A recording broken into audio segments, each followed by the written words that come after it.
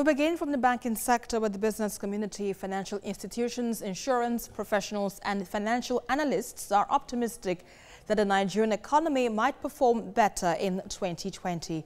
They share their thoughts at the Chartered Institute of Bankers of Nigeria's Forum on the economic outlook for the year. Details in this report.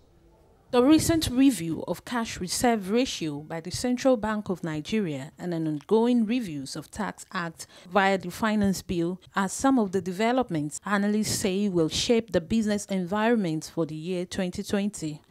Since the beginning of the year, notable local and international business organizations have come up with projections and assumptions for the new year the Chartered Institute of Bankers of Nigeria, in collaboration with other concerned bodies, puts this program to examine the economic and business outlook for the year. From what we have heard today, is that clearly execution remains key in terms of what has been propagated there. And then we also need to have inclusiveness. Inclusiveness is very good in terms of our growth inclusiveness because that is the only way.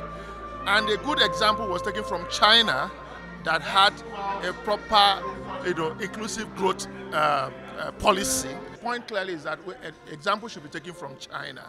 You know, that discipline of pursuing desired objectives clearly must be there. And the growth, you know, policy should be, you know, uh, inclusive.